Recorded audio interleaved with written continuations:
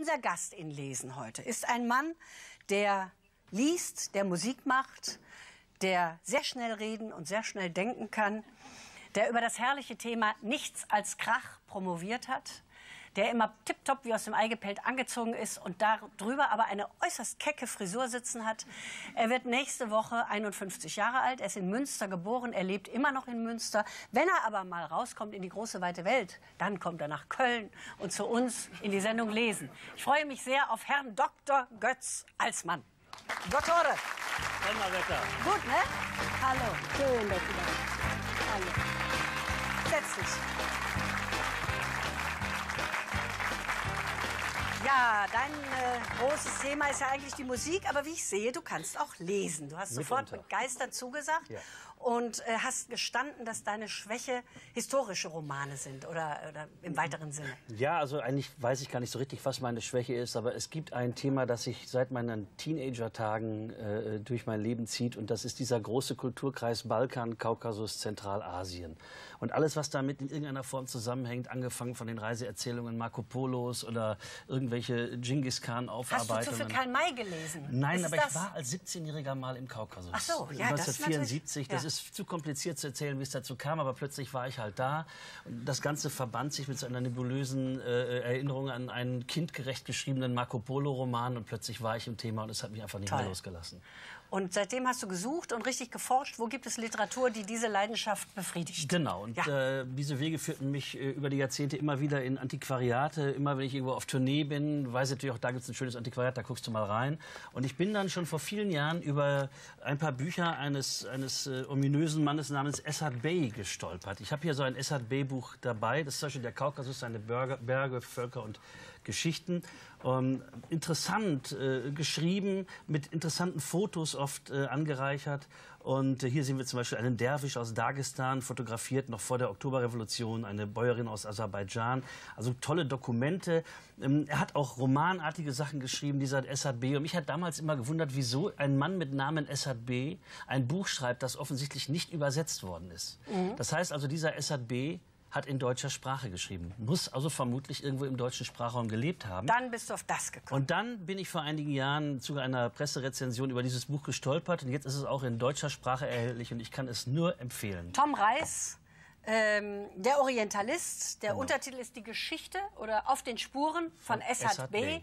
im Osburg Verlag erschienen. Und ich muss dir sagen, ich habe das dann gelesen, mit Vergnügen. Nicht ganz, ich bin noch nicht ganz durch. Mhm. Und ich habe immer gedacht, der ist doch fake, den gibt es doch gar nicht, diesen Bey. Der hat lauter verschiedene Namen. Erst heißt er Lev Nussimbaum, dann heißt er Bey, Ja. dann heißt er Kurban Kurban Said. Ja. Äh, erzähl mal. Also dieser, Was ist wahr, was ist fake? dieser großartige Mensch wurde 1905 geboren in Baku. Im Wer jetzt? Tom Reis oder Bey? Erstmal der Essad Bey. Gut, ich, Tom ja. Reis ist nur der Chronist. Größte ist der Chronist, der im Übrigen, das muss man sagen, dieses Buch ursprünglich für amerikanische Leser geschrieben hat. Das heißt, er hat keinerlei historische Kenntnisse vorausgesetzt und hat dann in diesem Buch auch sehr, Ja.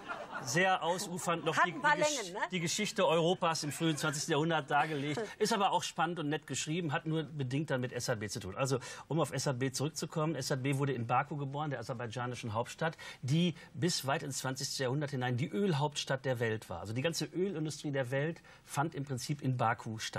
Und dort kamen Leute aus aller Herren Länder hin. Baku war sehr weit weg von Moskau, das heißt zum Beispiel eine intolerante Moskau bzw. Äh, St. Petersburger Atmosphäre, Pogrome und dergleichen mehr, das gab es alles in War Baku. es reich auch, so reich wie heute die Ölscheichs? Es war sehr, sehr reich. Und es gab dort sehr, sehr reiche jüdische Ölbarone, sehr, sehr reiche muslimische Ölbarone, sehr, sehr reiche christliche Ölbarone. Alle lebten auf engstem Raume und einigermaßen harmonisch miteinander.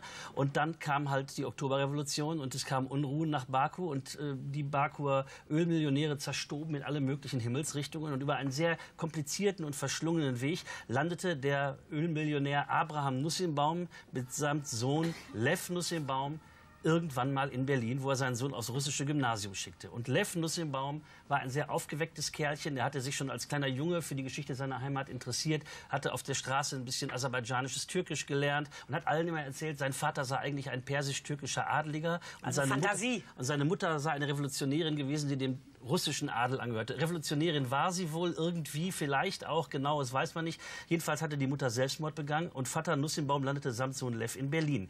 Jetzt war Lev Gymnasiast, wollte aber gern Orientalistik studieren, hatte aber noch kein Abitur. Was hat er gemacht? Er hat sich als Student der Orientalistik eingeschrieben und einen falschen Namen benutzt. Statt Lev Nussimbaum nannte er sich Esad Bey Nussimbaum. Was ein Wortspiel ist, denn Esad oder Assad, je nach Übersetzung, ist arabisch für Löwe und Bey ist der türkische Herr. Ein Nieder Herr, Nieder Löwe Nieder. Herr Leo Nussimbaum heißt es. Esad Bey Nussimbaum.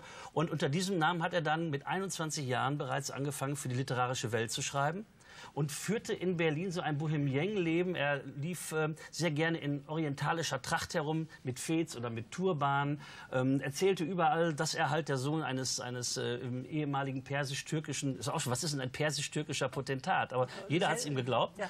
Und, ist er nicht auch sogar konvertiert? Ja, er ist mit 17 bereits zum Islam konvertiert. Also er war sehr ja. fasziniert von dieser ganzen Welt, war aber eigentlich noch faszinierter einfach von dieser Erinnerung seiner Jugend an, an, an eine wunderbare, harmonische äh, Welt, in der alle Religionen zusammenleben. Und das ist nämlich das, was das Buch so vermittelt. Ja. Dass es möglich ist, dass diese Religionen, die sich heute so bis aufs Blut, aufs Messer ja. und äh, weltweit terrormäßig bekriegen, ja. dass sie vollkommen zufrieden, war ja in Sarajevo genauso, an einem Ort zusammenleben können, bis irgendein Idiot auf den Gedanken kommt, wir sind mehr wert und wir führen jetzt Krieg. Das Gewaltpotenzial der Religion war in Baku unbekannt, weil alle gleich mhm. reich waren durch das Erdöl. es ist in dem Buch ein sehr schönes Bild von einer christlich-muslimischen Weihnachtsfeier für Kinder. Ja, das muss man sich mal auf der Zunge ich, zergehen Erzähl du mal weiter, ich suche. Und, und ähm, nun gut, also SHB war ein bekannter Mann. Mit seinem orientalischen Outfit ging er durch die Berliner Literatencafés, verkaufte seine Artikel an Literarische Welt, veröffentlichte eine Mohammed-Biografie, die heute noch Gültigkeit hat, äh, veröffentlichte interessante Reisebücher über Reisen, die er so selbst eigentlich nicht unternommen hat und galt allgemein als großer Fachmann für den Orient im Berlin der 20er Jahre. Witzig an der Geschichte war nur, dass er gern auch Gesellschaften in seiner Wohnung in der Fasanenstraße abhielt und dort trafen dann seine Gäste immer auf den orientalischen Märchenprinz, seinen Vater, der aber dort einfach nur Abraham Nussimbaum war, im Maßanzug rumsaß und sich wunderte, was sein Sohn für komische Freunde hatte. Ich zeige gerade die christlich-muslimisch-jüdische Weihnachtsfeier ja. 1913. Ja. Lev ist dieser Junge, dieser Junge hier, ne? ja. ja. mit den großen Ohren. ja. Ja, wunderbar. Also äh, spannend. Und wenn man das liest, es ist eine Mischung aus Tausend und eine Nacht, genau. aus historischem Roman. Und man hat immer das Gefühl, das hat er doch erfunden. Das gibt's Aber doch nicht alle alles. schönen Märchen, äh, auch wenn sie Wahrheitsgehalt haben, haben natürlich irgendwann ein Ende. In, in richtigen Märchen ist es meist ein sehr schönes Ende. Aber dies ist leider ein wahres Märchen und das Ende war dann nicht so schön. Äh, durch eine unglückliche Ehe mit Erika Löwendahl, einer ja, minder bekannten Dichterin der 20er und frühen 30er Jahre, äh, kam er dann nach Amerika, hatte dort auch Angebote zu schreiben, erlangte dort auch eine gewisse Popularität, ging aber wieder zurück nach Europa, fühlte sich in Nazi-Deutschland sicher, weil er ja äh, längst kein Jude mehr war, sondern zum Islam konvertiert war.